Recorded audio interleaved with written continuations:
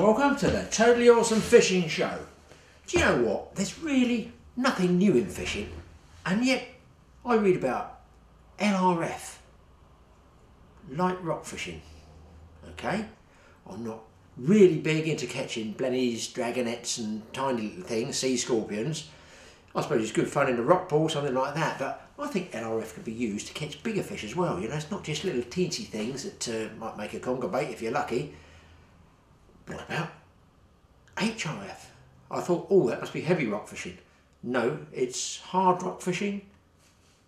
I don't think I've ever walked over any soft rocks. I may be wrong. I may be wrong and have to stand corrected. So, do you know what I've invented? As things do go full circle in fishing, SRF is the latest craze. What is it? I've just invented it. It's called serious rock fishing. That's catching big fish. And to join the serious rock fishing club, you need to catch a fish over, let's say four pounds. That's very, very bearable. And of course, that's quite a decent sized fish.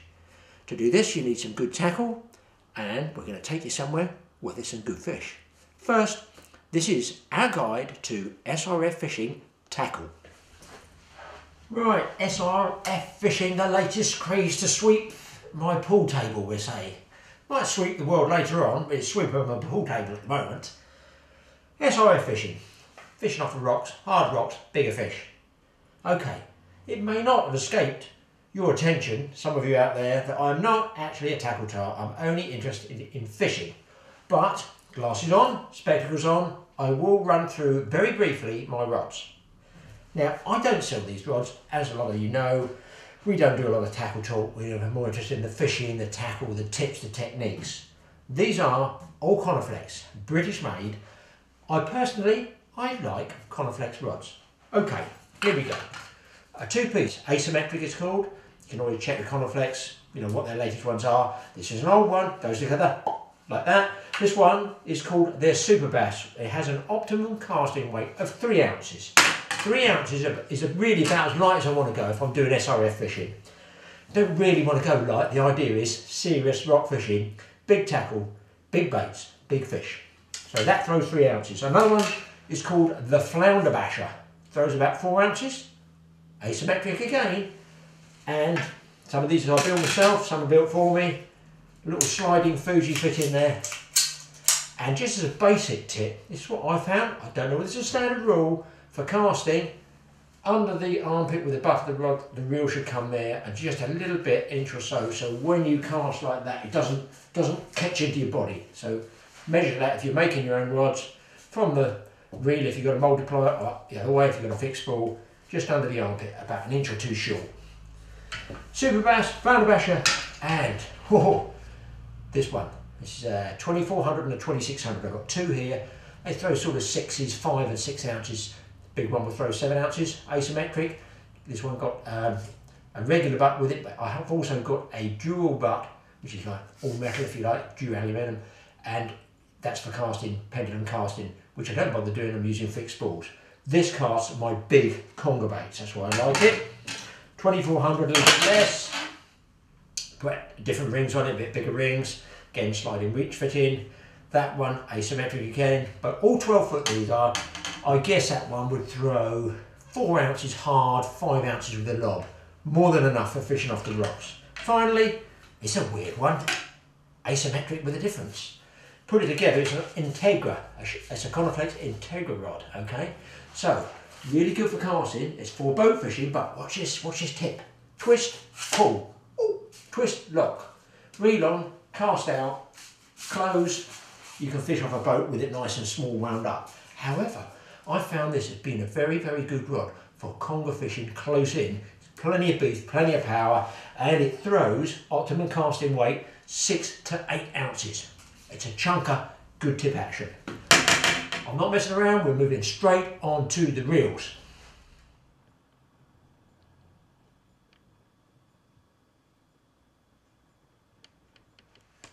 Okay, here we go people, straight in. I can cast with multipliers. I'm not going to cast with multipliers off of rock marks because I feel unstable when I'm casting. You know, for, for winding up with a big cast at a pendulum reel, you want to be really well balanced. Sometimes it's difficult, it's tough on some of these big rock marks. One leg's up, one leg's down, you're leaning this way, that way. you know, you concentrate too much on the cast. We've all done it. Wacko! Oh, attack with a knife. Okay, here we go. Light rock fishing is for very, very light lines. I don't know, six pounds, I would say. That's me. I wouldn't want to go much less than that if I was out doing it LRF. SRF, bit heavier. 15, 20 pound line. These are just cheap reels. Stern drag there. Firestar 50, this one Storms. Well, just general reel, not expensive. Takes quite a lot of line. SRF, ideal if you're pollock spinning. Ideal for pollock spinning. These will take double figure pollock off the shore. Then I just use three real jumbo fixed spools. These. This one I've had probably, oh man, 25 years. GT 9000. Uh, it's a Shimano Biomaster. Ages and ages. Nice big chunky handle. Never let me down. Minimal service. In my case, that means none. Uh, so minimal service for me. Do look after all reels. Wash them down in fresh water after using salt. And cheaper version is a Storm Firestar and this one is a 65 larger one. Takes a lot of line, you know, it's middle of the range, cheap to middle of the range reel, get it from most of your tackle shops. That will do the job if you're just starting. Distance is not the key here. The score at 80, which is the Achios reel, nice big ball grip. Whole different animal, isn't it? Whole different animal, look. Beautiful, smooth. Again, it's not going to catch me any more fish than this one, the cheaper version. Not going to catch me any more fish, but Still nice to use, still nice to use. Both take a lot of line. I put braid on there, which might not be a wise decision using off the rocks. We're going to give it a crack. Generally, I've got some of that black pitch black mono, 15 pound minimum when you're doing SRF fishing. There we go, that's all we need on the rods and reels. I'll show you a bit of terminal gear. I want to go fishing, playing with all this stuff. I want to go. Right guys, specs on. I've got these from Tony's Tackle at Eastbourne. Tony C Match 5 pulley rigs. These are large ones with a 4.0 Aberdeen hook. Oh, they're good, I love them. On these little spool winders, all hooked up. Make all your rigs up before you go. I never used to years ago, but I'll tell you what, it does save you time. It does save you time. This one is quite simple to use, really. Just untangle it a bit. It's off. The lead goes on the bottom here, which has a little bait holder as well. It slides through there. You see, you've got a a, a barrel swivel runs up, a bead, another swivel, and then you trace. You bait up. I'll show you briefly this one. I've got to get fishing. Well, we haven't actually got to catch a ferry. You put your hook into the clip like that. You tie your line from the main line onto this barrel swivel here. There you are, imagine it. Lead, hook, main line, whizzes, flies to the sea, hits the seabed, bang. Oh look, magic, it falls off. All your bait's out there intact, laying down, along comes Mr. Bullhuss or Conger, picks it up, generally be winding in. What are you doing? You're winding the lead into the snags. The lead is bumping along the bottom. Not with a pulley rig, it slides. As the fish pulls here and you're pulling the other way, the lead's down this end, it slides all the way through like this. Fish is down here on this side fighting, bang, comes up tight here, there's the lead, it lifts the lead up off the seabed and allows you to fight the fish clean. It saves you money on leads and it catches you the fish. The pulley rig, I love it. You can put a pen, Pennell one on there with two hooks. Mm, two hooks in a rocky situation. SRF, one way ticket to losing gear. Good for the tackle dealers, bad for us. I think a single hook's enough. So pulley rigs are the way to go.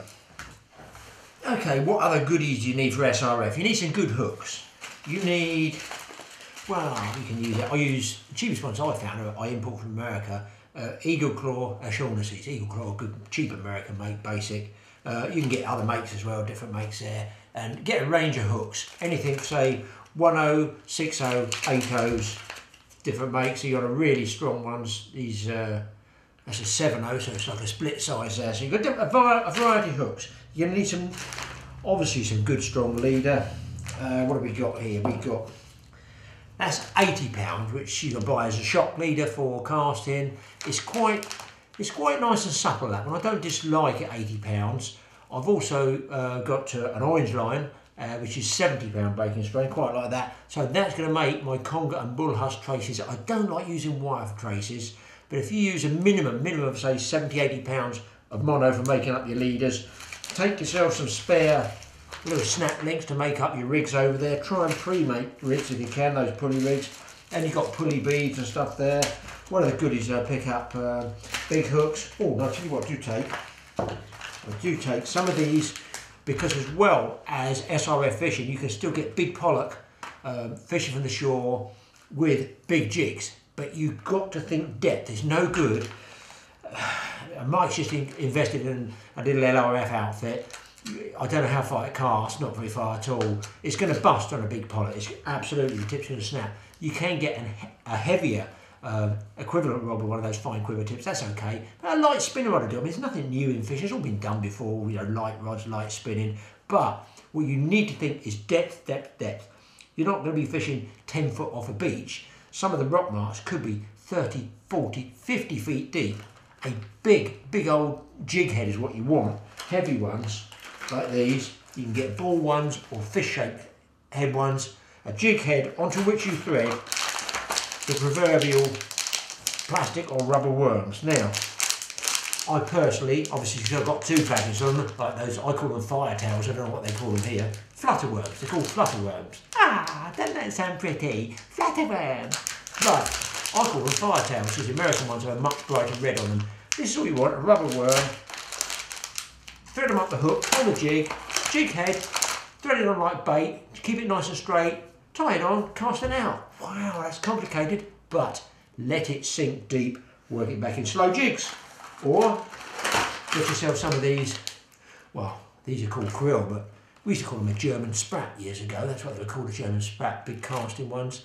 Yeah, they're not the world's greatest lure, but they're worth, well, one guy said to me, are they worth using or are they worth losing? Well, let's face it, sea fishing, it all goes one way at the end of the day, doesn't it? Davy Jones locker.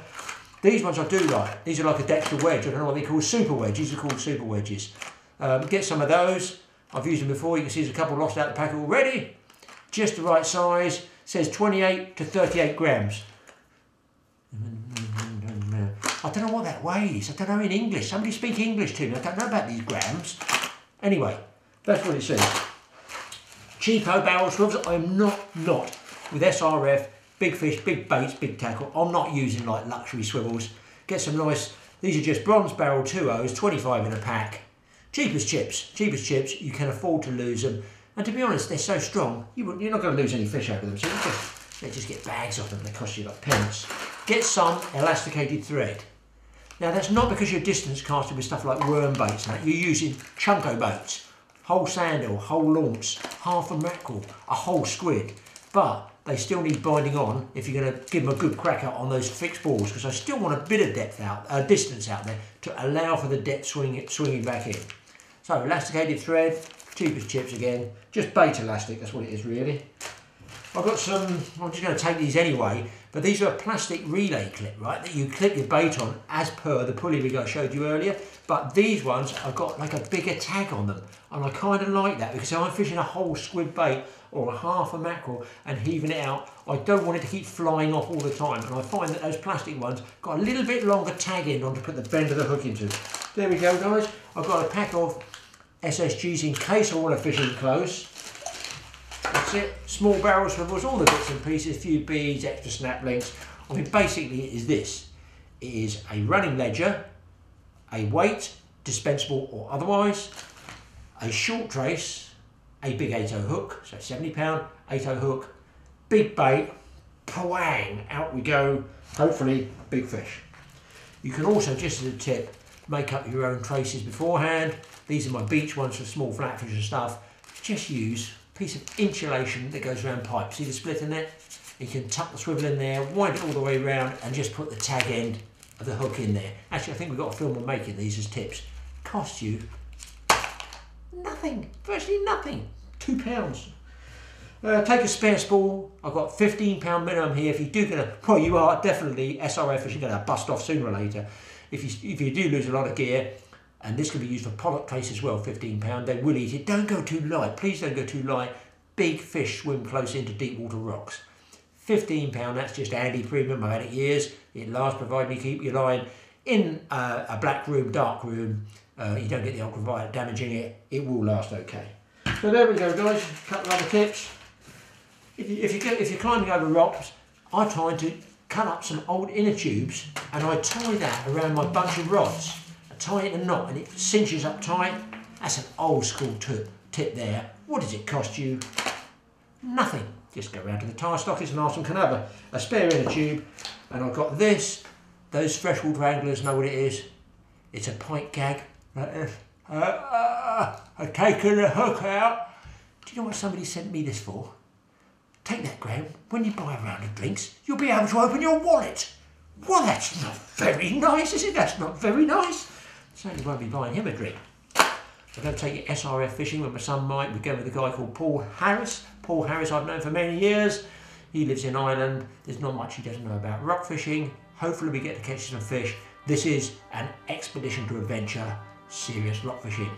Let's put this in a bucket and go!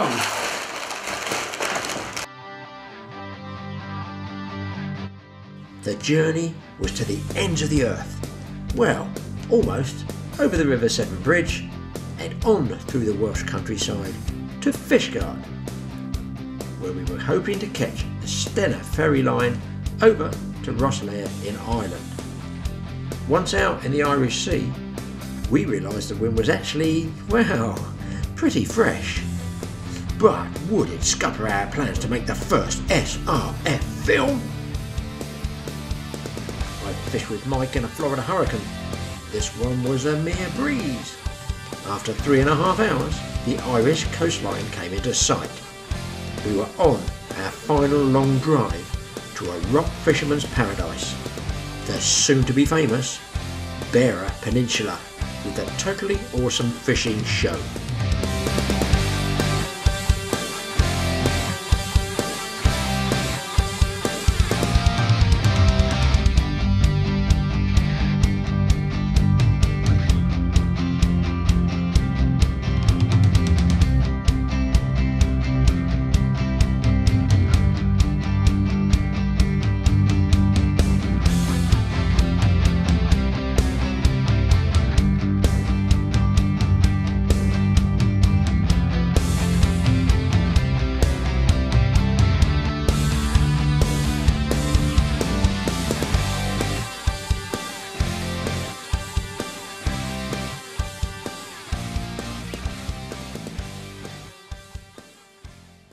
Right, people, before you go out on those rocks, they're slippery, slimy, they're dangerous.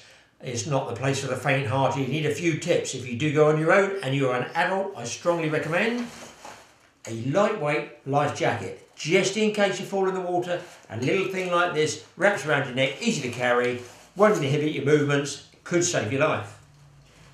Another important safety thing to take, especially when it's getting dark, small lightweight head torches with adjustable, adjustable straps a number of different settings on them. Really important, especially if you fall over on the rocks in the dark. The Coast Guard's out looking for you, these are vital. Also, how about a pair of compact binoculars? You can stand up on the cliffs, on the rocks, you can look down there, try and you know spot some good rock fishing platforms, but remember, they magnify everything, so gaps that you have to jump across might be a bit bigger than you think. However, they are also safety items I feel worth taking. Another important safety item, especially if the Coast Guard's looking for you. Very small, very lightweight and very cheap. A whistle. Really, really simple. Goes straight in the bag, doesn't take up any space. Again, really important if the Coast Guard or a friend is out looking for you. Very important. That's a good idea, but also a good idea a nice pair of boots. Do not use rubber boots, Wellingtons or anything on the rocks when it rains. Some of those black rocks get very slimy and slippery I got caught once in the silly yard for three hours when it rained after I was fishing. Nice pair of leather walking boots or Ramblers boots, good treads on the bottom, give you grip. Think safety. Good pair of boots. Another important safety factor, especially if you're out all day, is keeping hydrated. You can get one of these small CamelBak things. They can take up to about two litres of water. I think this one, small, easy, goes in your bag like that. The tube comes out. You don't have to worry about carrying anything, carrying bottles in your hands. Your hands free. Really, really important to stay hydrated, especially in that heat and sunny weather. No big metal flasks for me, it seems. What about these? Woo! Like the look at those, don't we? A nice pair of rubber gardening gloves. Bright orange, easy to find, but this is important, people. Very, very rough and grippy there. Don't get your hands cut on barnacles if you're climbing over the rocks, especially at low tide. About two pounds. Gotta be a buy. Gotta be a buy. Chuck them in the bag, and also good for picking up peeler crabs as well. Very practical one there. Again, another thing, not everyone takes, very cheap, small first aid kit. Cuts, grazes, fishing line, fishing hooks, you're bound to get them. This saves you the problem of getting messy, easy to use, cheap, small, again, very important. Finally, probably the most important thing, a mobile phone. You need to let people know where you're going. Take your mobile phone with you. You may not get signal everywhere, but generally with emergency calls, you they boost your signal for you. This is vital, guys. They can get GPS points and everything from this. They can find you. You can even put it in resealable small plastic bags. Whoops. You can even break them as well, or you can get little Ziploc ones as well. Really, really important. This is a godsend. It's a must, guys. Remember, no fish is worth your life when you're out there rock fishing. If you're kids, youngsters, please go with an adult, go with your parents. If you're an adult, go in twos at least. You need to think safety, enjoy your fishing, enjoy your rock fishing. We certainly do. Come back and tell us all about it here at the Totally Awesome Fishing Show. We've finally arrived after an arduous trek across the Irish roads. We are out on the Beara Peninsula, a famous, a fairly unknown market. It's one that you could come over and do some serious rock fishing on. And the man to tell us about this serious rock fishing is none other than Paul Harris, who I've known for a great number of years. He's sitting right here and he's going to give us a little bit of a rundown on the sort of fishing you can expect, what you can catch, all the tips that you guys need to know. Well, here we are, as Graeme was saying, on, on the Beara. The Beara is probably the least known of all the peninsulas uh, of Ireland, of southwestern Ireland. Um, behind me there to the north, you've got the, the Dingle Peninsula. Next one down would be the Ring of Kerry, and then here we are on the Beara. Uh, probably the least fished, the least known, um, the least explored. I've been living out here now for nine years and uh, having a great time going around and finding new fishing. Would you believe I'm about the only person on the whole of the Beara who does any serious fishing? So I have it all to myself, which is good in one way because it means that I've got my own private fishery, but tough in another way on finding uh, where all the best fishing is. We're talking about rock fishing here. All of the Beara is, is really rock fishing. We've got a few beaches, um, but the best of the fishing comes off the rocks. And doesn't mean you're fishing onto rough ground, quite often you're fishing off the rocks onto sand. So the species that we're catching really vary with the areas that we're, uh, we we're exploring. As a, as a fisherman myself who's spent uh, so many happy fishing holidays both in Ireland and other parts of the world, I know what you want when you come on a holiday and the most important thing really first of all is local knowledge. Um, so when we started our B&B Drumaglawn House uh, in Adrigole, the first thing we wanted to do was make sure we had the knowledge to pass on to uh, to visiting anglers. So that means I have to go out and really search and well, I tell my wife I'm doing research. She doesn't always believe me that I'm enjoying myself, sort of thing. But it means we go out and find the fishing. So when you arrive, your fishing holiday would start on day one, not on day six, which is what you're normally doing when you just find the best place to fish and then you've got to go home. So we take you around, show you the fishing on day one, and also at the house we have a full stock of all the baits most important you can't fish without bait. So we always have in sand eel crab rag lugworm squid all the usual sort of things that you need on a fishing holiday. Of course when you're on holiday the important thing you want to do is plenty of fishing. So living on a peninsula or holidaying on a peninsula it gives you a great advantage because whatever the weather does it means we can always get out fishing north south east west winds don't bother us we've always got marks that can produce fish Species you can expect to catch? Well, we have three species of ray here basically. The most common one being thornbacks. We also have spotted and small-eyed. Uh, we have, of course, the rock species you'd expect to catch wrasse and pollock. Great wrasse and pollock fishing. Uh, pollock last year, our best pollock was 14 pound. Now, I'm not going to say you're going to catch a 14 pounder every time, but you certainly can expect uh, fish up around the six, eight pound mark would be, in a week's fishing, you'd certainly expect to get them. In a good session, 30, 40 fish. Not exceptional, not unusual. Uh, bullhuss, that was great sort of rock fish. Um, plenty of those to be found. Uh, our best one last year was just short of 17 pounds, which is a fairly exceptional uh, fish from the shore. This year, we're talking now, we're just at the end of May, we've already had them to nearly 16 pounds, so it shows the quality. Plenty of conger, we've had conger from the shore, 30, 40 pound, but once again, mid-teen fish, plenty of those, great sport you can expect from them. Although most of our fishing, I say, is off the uh, off rocks, we've also got a couple of beaches, and uh, and there you can expect to find that great southwestern fish, the bass. Um, not big fish. We've had some big fish. We've, we've our best bass now was uh, around about 12 pound. Would you believe that was rock fishing? And it took a whole squid that was really meant for a conger or a or a bullhuss. Um, but on lures, once again, the normal sort of fish you'd expect three, four pounds. Nice, uh, nice quality, good fun fishing. For the first, oh, I suppose first five or six years here, we really concentrated on the big fish, the the bullhuss, the various species of rays, the congers. That's we were having great fun catching them, and that's what we wanted to catch. Then we started looking a little bit uh, at the smaller species, the flatfish. Um, now we never caught any. Then we really realised we never caught any because we never fished for them. Our first session after flatfish, um, the guy I was with, he had a double hitter plaice on his first cast using crab. So we started experimenting using different baits, fishing some of the, the sandier marks, and sure enough, we found plaice, we found flounder, uh, we found specimen dabs. If you want to come to Ireland for big dabs, we found specimen dabs around about a pound and a half. So it's really a matter of experimenting. There is still so much exploring to do on the Beara. We haven't found it all, so come and show us what you can catch. One of the important things that uh, the people ask you when we start talking about catching huss and conger and rays is, well, does that mean we have to go out night fishing all the time? And uh, while some of the guys that come really enjoy their night fishing, it's not vital, it's not necessary. A day like today, with it lovely, sunny and bright, we've today caught huss to nearly £10, we've had conger to £20, mainly because of the depths we're fishing into. In some of the places you'll be fishing into 40, 50 foot of water. Down there it's already dusk, it's already night time. So doesn't matter about the day, how hot or how bright it is, you can still pick up those sort of species then. So night fishing is not a necessity, come and catch a big fish through the day. Where we live, we, we're about sort of uh, 12 miles into the peninsula, a place called Adrigole.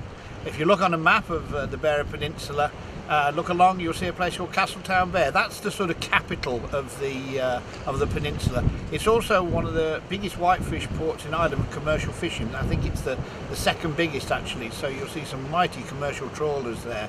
Um, it's strange, really. I suppose they're doing all that fishing. That's why there's not so many people out doing rod and line fishing. But as you work your way around the peninsula, then you'll also see see little villages, Allihies, Urhan, Eyeries, these lovely little places tucked away. And all of these places offer depths of water that you really just can't believe. Dursey Island, the only place in Ireland where you have to get on a cable car to get to it. Off Dursey Island, 60 foot of water within an, an easy casting range. And there's the home of big pollock, big wrasse, big conger, and close in. For any of you that, uh, that, that may be really just starting out in sea fishing or not that experienced and don't want to spend a load of money on all expensive equipment and everything, don't worry. If you come over to us, any of our guests have free use of rods and reels and tripods, both for spinning, for ground fishing, and even the new super LRF style of fishing where you're fishing the soft plastics uh, for the smaller fish. Uh, we have a full range of tackle there. It's all free for guests. Well, we've got quite a few marks that, that, uh, that tick the boxes for big huss and for big conger. Probably the one that I'd favour at the moment, though, is one that's been throwing up big huss, big huss and big conger, um, and that's out at Cod Head. It's uh, it's a very new mark. Well, like I say, I've been here eight nine years. I found this one last year. Uh, just started fishing it. It's already thrown up huss to nearly 16 pound. It's thrown up conger to 30 pound it's only been fished about half a dozen times, so its potential is, uh, is really unknown. Casting out into about 35, 40 foot of water, as well as the huss, as well as the conger. Do you know, I've got a very sneaky feeling one of these days we're going to pick a ling up there as well. So that's the one for me, out near Cod Head. Well, at the moment, uh, you know, say we've got a big westerly blowing in, which would really take this mark out uh, on Cod Head. Uh, a very short drive away, it's a lovely little spot called Blue Islands. it's a strange place because you're fishing off rocks, you're fishing onto pure sand. There's there's no, not even any reef out there at all. But it throws up some cracking uh, huss. We've had huss to double figures there and and some nice conger. Strange enough, it also throws up plaice, flounder, dabs, cod, whiting. It shows up a little bit of everything, that place, at different times of the year. Uh, but that's going to be our easy backup mark because we're lovely and sheltered there from, uh, from any strong westerly winds.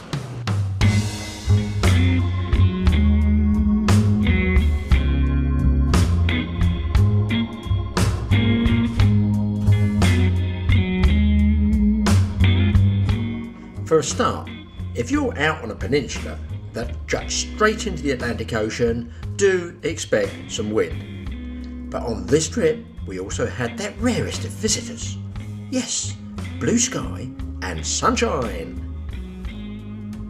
Never having fished this part of the Irish coastline, we were totally in the hands of Paul, and as well as putting us on the best fishing spots, many of the great views and tourist areas were pointed out. Everywhere you look, there are some great looking SRF spots. Let's face it, the entire peninsula is a serious piece of rock. It's, well, solid granite. The roads were empty. You could stop anywhere to check it out. Man, what a great stress buster. Okay, we've uh, we've learnt some of the fabulous rock fishing marks that's down here on the Beara Peninsula from Paul. Had a little chit chat with him. There's obviously more marks than you can shake a stick at here, but as with Irish weather, you have to take account of the weather. And here is tipping down. We've done about 10 miles. We know exactly where we're going to fish, but we're just waiting to let this weather go through because it's pretty bad weather at the moment. But I'll give you a tip while you're here as well. When you're travelling around, if you're in twos or threes or even on the rocks, little intercoms, little what we used to call years ago walkie-talkies. That's because you could walk and talk at the same time, and that's rare at my age to be able to do those two together. So you get yourself a little system like this, very cheap. You can buy these, you know, 30, 40 pounds, I think they are now. And then if you're split up on the rocks, you can say we're going to pack up now, or we're going to move, or I'm getting fished. You want to come over? That sort of things. They are so helpful. It's unbelievable. Like this. So what's the name of the mark we're actually going to be fishing, Paul, uh, down here? Socks on the rocks. Socks on the rocks. I won't go into that anymore. Yeah, I won't go into that anymore. Um, you think this weather's going to blow through okay? Yeah, you know they say about weather on the Beara, just wait 15 minutes if you don't like it, it'll change. So it should be gone through fairly quickly. And just while we're waiting for this to clear, um, just let the viewers know what sort of depths will we going to have, you know, in front of us out there. It goes off very quick off the rocks. It's about sort of 15, 20 foot uh, in front of us, and it stays that depth right the way out to the islands. Oh, brilliant. Okay, well, five minutes and we'll do this last leg just to get down to the rocks and uh, fingers crossed we get some baits in the water. Be doing it. And there you see, I can talk to Paul half a mile away. Well, actually, he's just parked in front of us, but it still works. You can see the system works. So, rock fishermen want to invest in some of these. Cheap, and I'll tell you what, another safety factor. Oh, come on, rain, come on. Once that rain had blown through, we were out on the move again. Round lanes, up hills, down valleys, and on each turn, I just had this craving to jump out and start fishing. But distances down to the water here are deceptive. Good fishing spots might be a lot further off than you actually realised, which is where a good shore guide comes in as Paul knew this mark was sheltered from the wind even before he left his house 10 miles earlier. Local knowledge can save you a lot of wasted fishing time. And just look at the size of the mountain backdrop.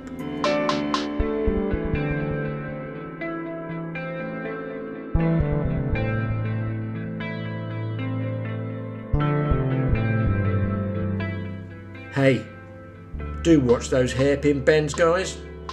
Anything could come the other way. A car, a tractor, a, a donkey.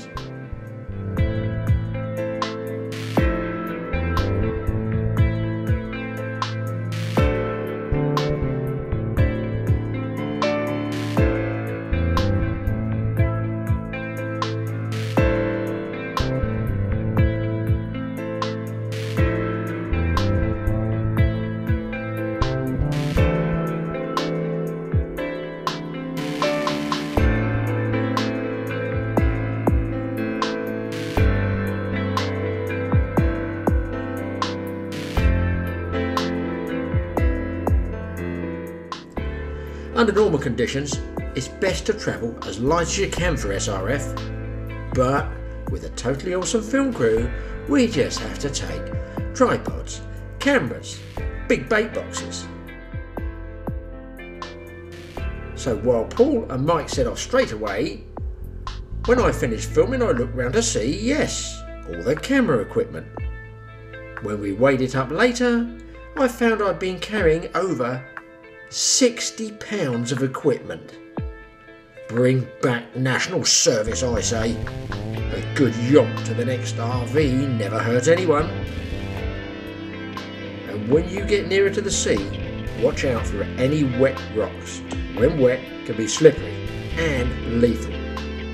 So take short steps. Speed is not of the essence when climbing over coastal rocks.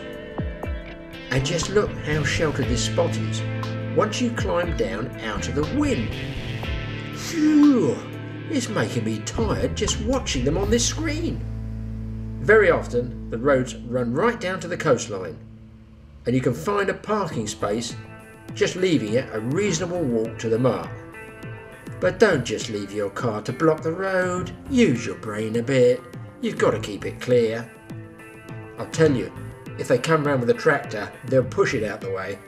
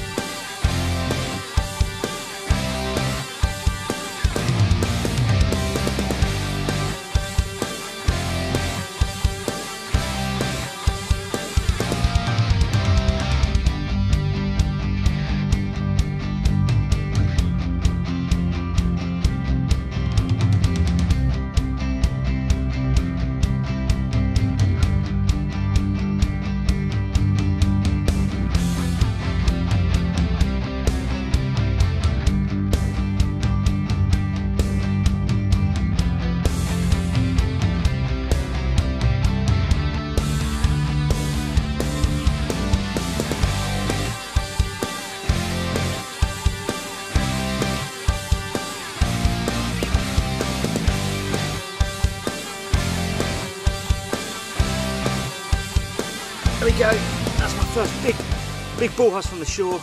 Definitely a PB for me. That's serious rock fishing. What are you there, guys? Absolutely solid muscle. As Paul says, dogfish with attitude. There we go, guys. Let's get him back in the water. We'll get still first, but that is SRF, serious rock fishing, and it is totally awesome, guys. Get yourself down there. There we go. Let's get a picture and get him back.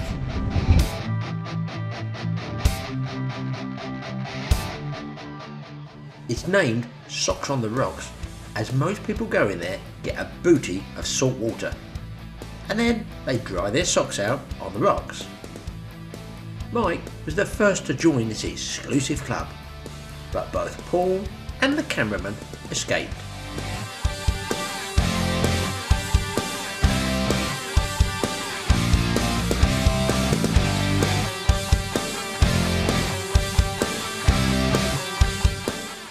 Yeah, typical little rock cut pollock. A little bit scratched from where he was on the rocks. Probably about what? Three pound? Yeah, nice fish. Nice little stamp. I mean that was that was that took a bait off the bottom. And you often get them taking baits off the bottom as well as catching them on the soft plastics and the lures and everything. In fact some of the biggest can come off the bottom. Good fish, good fish. Right, we've got the bull here. Yep. Go down, guys. We just get one still off the two fish together. Ah. That is the rock fishing you can get over here on the Beara Peninsula, two at a time.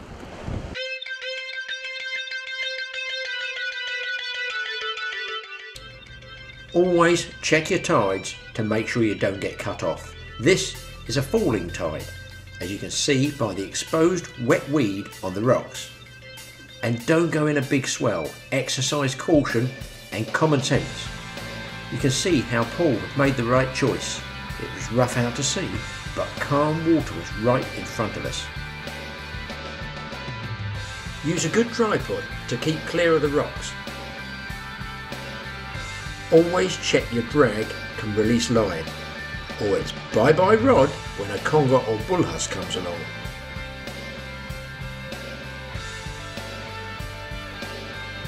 Try and keep your line away from the kelp that grows on the rock face. Many a good fish has been lost here at the last stage of the battle. And watch your footing. This is SRF, serious rock fishing.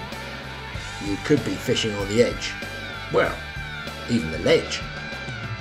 One slip too many and you'll be in with a fish. Think safety, even if you have hooked a good fish. I personally hate to fall in the sea for the sake of a dogfish. And you don't have to kill everything with SRF, just unhook them and throw them back for another day. The saying among world travellers is, take only pictures and leave only footprints. Hmm, that's a bit hard on granite rocks, but you know what I mean. SRF means big baits, big tackle and big fish. So be prepared to sit it out with a chunk of mackerel, squid or sand eel if you are after those lunkers. And take plenty of food and water. If the fishing turns out to be good, you'll probably want to stay on longer.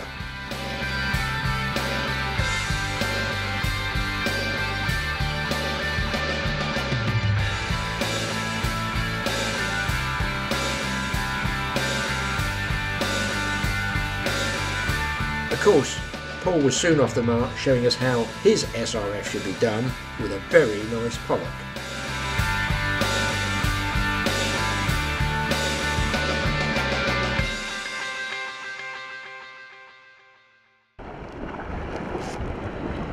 Well, that's another pollock, and actually this time on a piece of mackerel, which was really meant for a huss, but we'll take what's going. Four pounds, Paul? Yeah, about four pounds, two, three, three and a half, four pound. So that'd be about the average really round here? Pretty much the average stamp. I mean, we get them up to around double figures. We've had them to 14 pound off the shore. Fourteen pounds. And, and really, you know, eights and nines aren't uncommon at all. So, uh, Yeah. so that's a bit of a baby, really, by those standards. Nice fish, nice fish. So we grab a still of that one.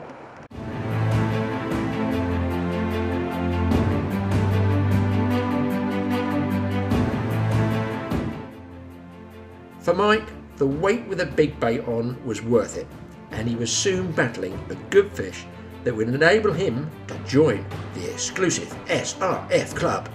That means catching a fish over four pounds from some serious rocks.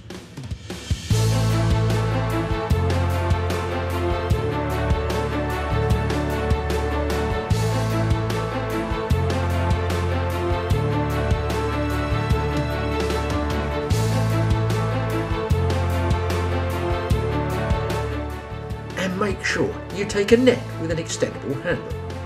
It could be further down to the sea than you think.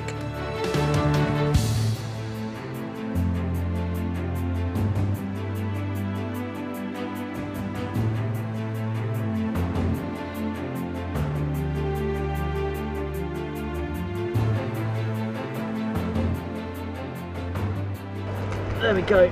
Small huss this time. Tide's just on the flood as well. So probably the reason why we're getting some, some bites. This was on the Pennell rig. Ah, He's trying to get me. Nice little huss, nice markings on it. And hopefully, now the flood tide's coming in, we get more fish. But we're going to get this one back, get the rod baited up again and get them straight back out.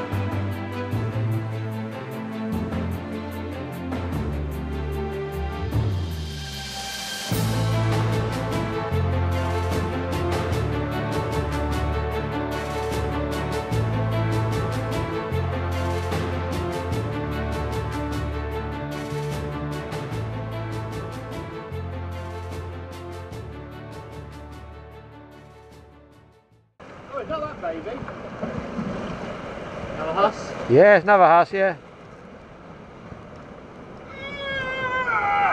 Hey.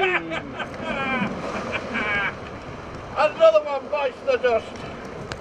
Yeah, just thinking of packing up and right at the end there's nice nice little huss on sand eel. Great bait sand eel. Seems to catch fish all the way through. That is a big cake hole there. So you get many of these, Paul? Ah, good day you. I mean that's that's only a small one really. We've had them to uh, we've had them to 15. My best one's 17 pound. Wow. Last year the uh, best one we had was just short of 16 pound. And really they're great fun and, and a dozen of these in a day is nothing unusual. Great sport. And you get them in the deeper water here, you get them during the day as well, so it's not a matter of going out night fishing for them or anything. Don't need to stay out all night then. No, no, no, no. Deep water, it's it's dusk down there, sort of thing. So uh, so you can just keep fishing through the day, as as we're doing now.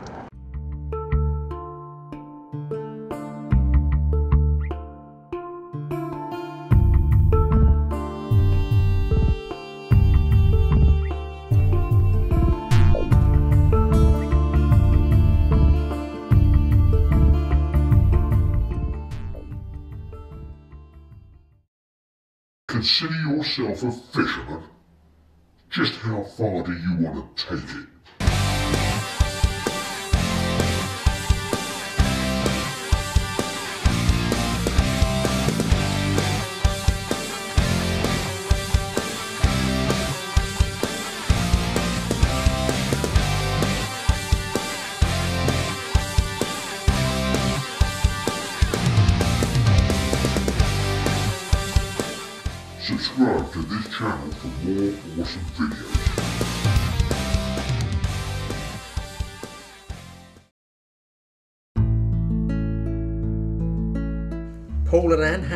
Run their four star Irish country house in the shadow of the magnificent Sugarloaf Mountains. The mild maritime climate sees a variety of unusual plants and flowers.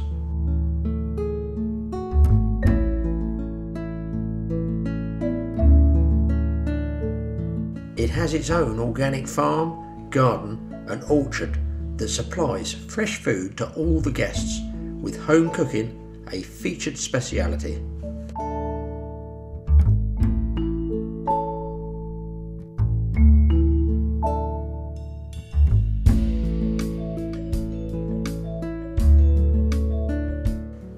You can enjoy a full choice of breakfast menu, and dinner is available by prior arrangement.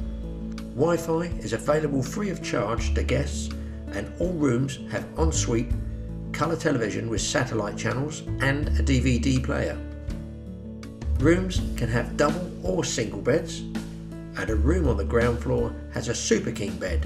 This can convert to two single beds by prior notice. Join Paul and Anne Harris in the heart of Ireland's Beara Peninsula.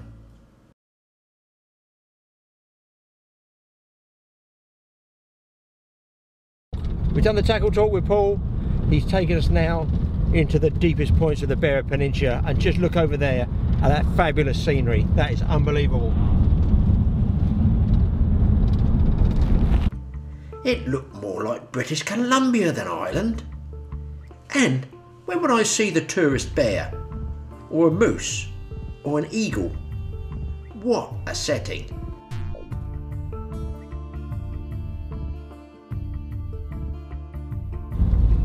It actually looks like we're going to the back of beyond here with ancient stone monuments. My goodness, how historic is this place? Puxley Castle, this is called.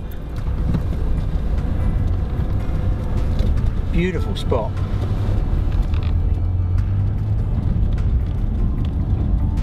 And being on the southwest peninsula here, you got all these palm trees growing and they get a lot of sort of exotic and semi-exotic plants growing because it gets mild airflow get a maritime climate you know, due to the influence of the Atlantic Ocean there. And the sun is out.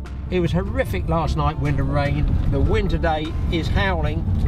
but Paul is trying to get us down to this spot. It's an epic safari, but I'll tell you what, it's worth it. And look up in front of Paul up there, it looks like something out of Lord of the Rings.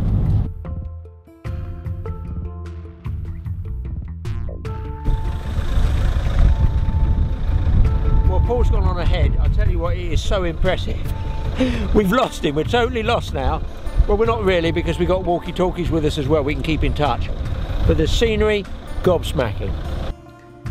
This was another sheltered SRF spot, casting from the mainland out into the deep water channel towards Bere Island. There are some good fish travelling along this stretch of coastline, as shore guide Paul illustrated with this nice pollock.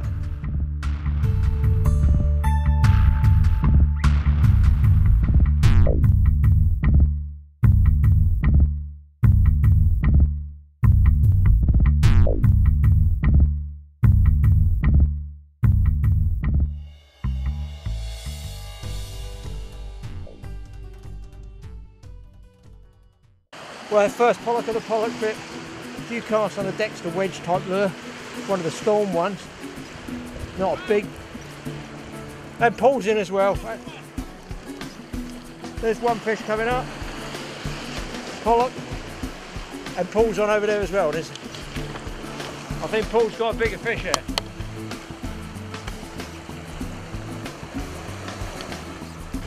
First pollock of the trip and Paul's on, I think, a bigger fish. What a place!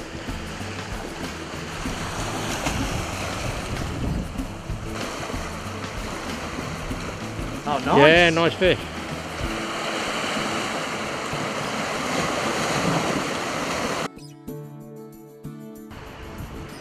Well, we've come way down the coast to try for one of the legendary serious rockfish in conger.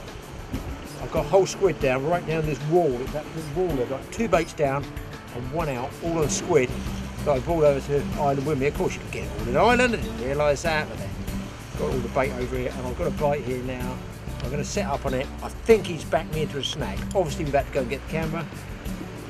Fingers crossed, we might get to show you something. The main thing you want to do, if you set up on a conger, bam, is to try and keep him coming out of the snag because he will take you straight back in and bust you off. And this one might have already done that. Get yourself a good position because when you strike, you don't want to be toppling off the rocks.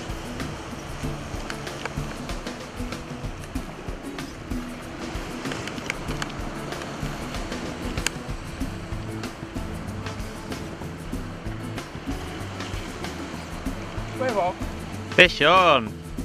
Yeah. His head up. That's not a conger.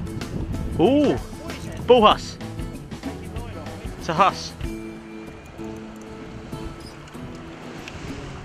You're right, it's a huss, full huss, full huss, full huss. There you go. Serious rock fishing, big baits, big tackle, and a big drop for me to go down. Mummy! Oh, my mummy! Always try to keep your big fish up on the surface or they bury themselves into the kelp. So what we're going to try and do is get right down there. I'm going to try and swing him up on the tray. So I've got 80 pound on there. Big, big black bull this one. Hopefully he's just going to stay there. It's a bit windy. Man, he's black as the ace of spades, this one. That's a sign he's hunting and feeding around the inside of all these snags and rocks.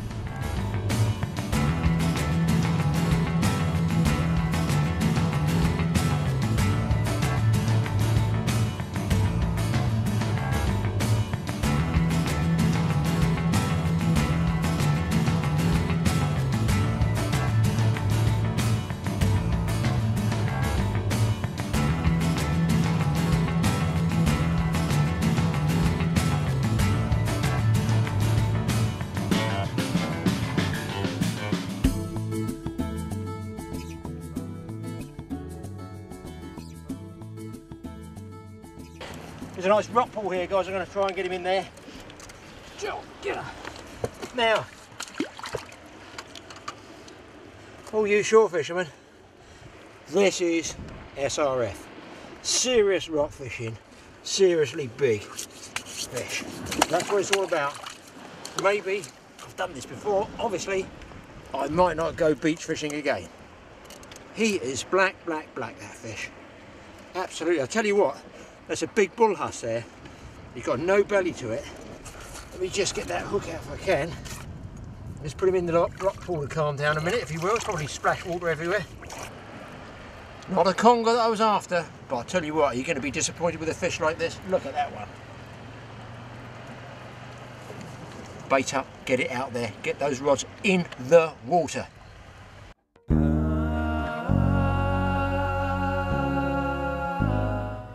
SRF is about catching good fish, having great sport in a fantastic setting, but letting the big ones go. By all means keep the odd pollock for eating, but if you kill everything, there'll be nothing left for tomorrow. And it's great just to see them swim away.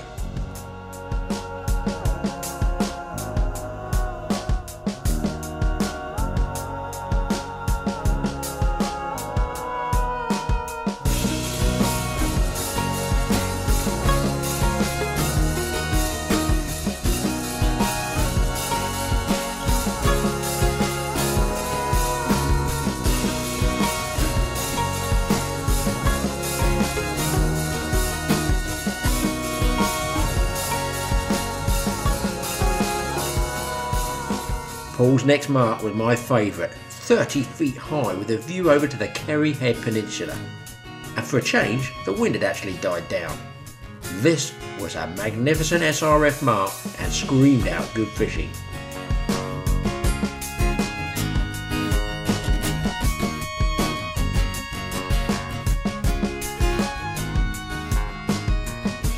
I learned to climb like a mountain goat.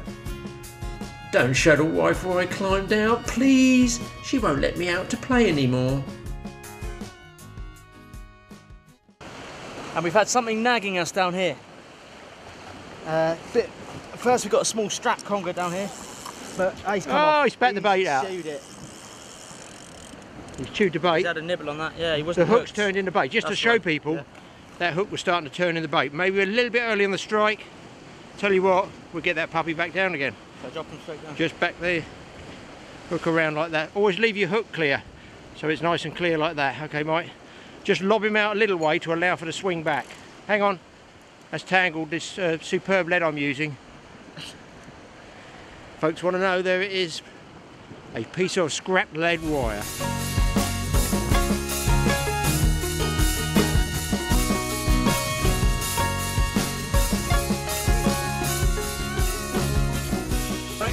First dogfish of the station. Hey! How far out was that, Paul? That was a, that was about sort of 60 yards out, which by the standards here is a long, long way. Yeah. Certainly don't need to go long casts to find your fish. Can't see anything yet. I can see some sort of colouring down there. Yeah, I'm just going to move over here from the... Oh, it's a little doggy. I said I'd be the first to nail a dogfish. Hey! Ah, now we've got the, the long, the long journey. Give him some oxygen, Bob. There he is! This is a dogfish with altitude. And what bait was that on? that was on sandeel.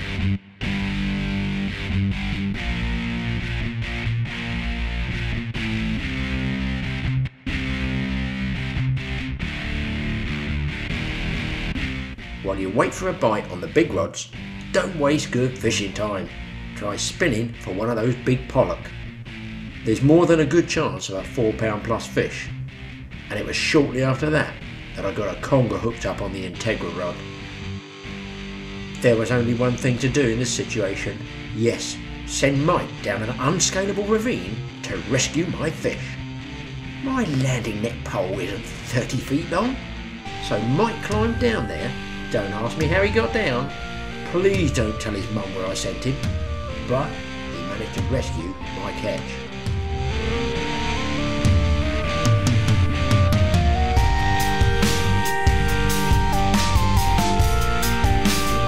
And just look at the height we were fishing from. I told you, this wasn't called serious rock fishing for nothing.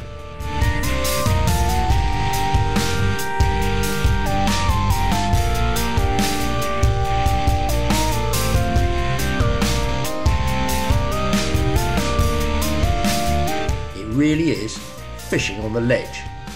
I wonder how long it'll be before someone else pinches that as a title for one of their articles. The totally awesome fishing show. You've seen the rest? Now watch the best.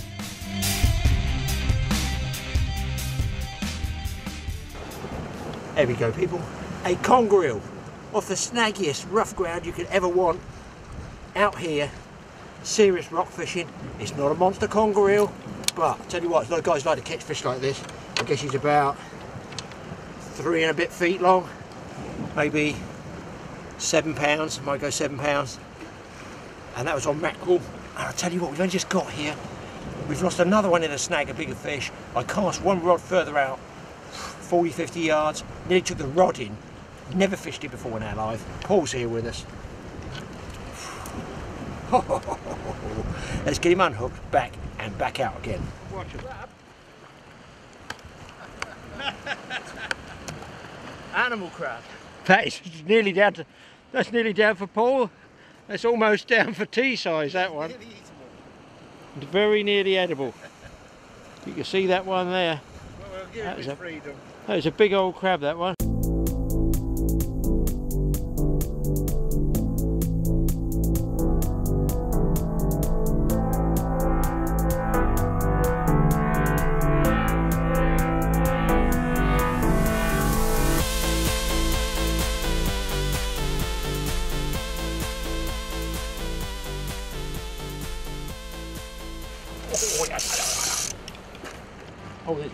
There's live there. Is he gone?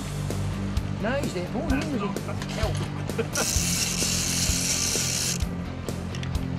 No, you're Ah, that's got to be a fish. Something's twanging there.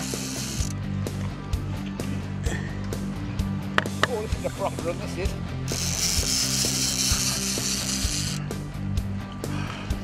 That's a nice bend. Yeah, good fish. That's whatever it is. Still moving, is it, Paul? Yeah, it's a huss, I think. Oh, Oh, conger, nice conger. Conga, conger That's a nice one. On one. Yes, please. That's a good conger. Yeah. That was the easy bit. Yeah. Yes, Paul's £20 conger was unable to meet our photo shoot deadline. As Mike started the descent to the ravine to land it, the big eel dived down deep and cut Paul's line on some barnacles. The bigger the fish, the luckier you need to get.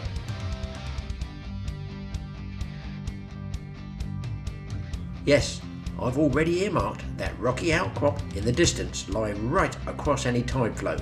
Could be giant tope or even a porbeagle shark. And no, I'm not joking, Ireland is the place for a shark from the shore.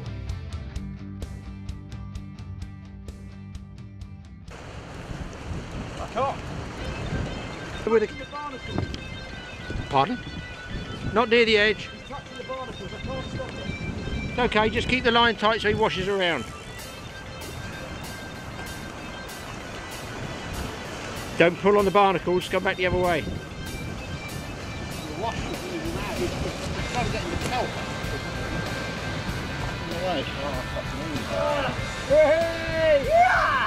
That's a nice huss. That's my.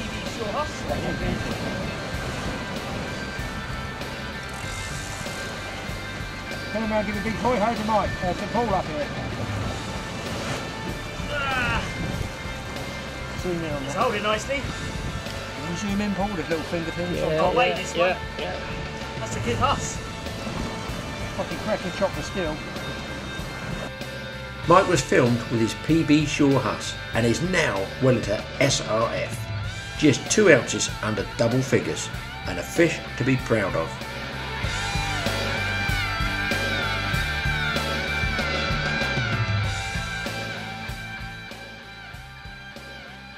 Pull us on. Keep hauling, keep hauling, keep hauling. Could be a load of starfish. Oh, got a real small strap conger on here. Just about on packing up time. One in the bait's in.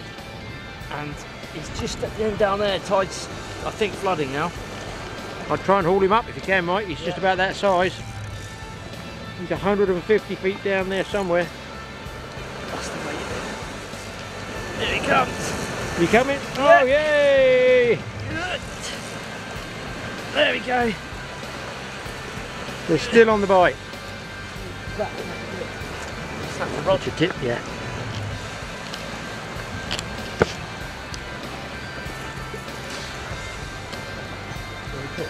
There he is, in amongst the pretty flowers. There we go. It's a long way up for him. Almost like a freshwater eel, that, isn't it? Yeah, it's a big freshwater Yeah. if it was, yeah. No, it is. And you can see there the size of his jaws there. Just put him down, we'll have a look there. If you'll lay still. A predator's head. That's the last point that a lot of the fish see going through their nose jaws. And this one is not a big one. But acceptable nevertheless. I think we pack up. We've done very well. Conger, bullhuss, dogfish. Well guys, that's given you some sort of idea on SRF, serious rock fishing. We haven't had the greatest weather, we've done the best we can, we caught some good fish to show you, and I'll tell you what, does it work or not? So on SRF, big fish, big baits, big tackle. And look at that rainbow, it's not fake, it's real. I'm in the car, on the ferry home. I'll tell you what, it won't be long before I'm back. What a setting.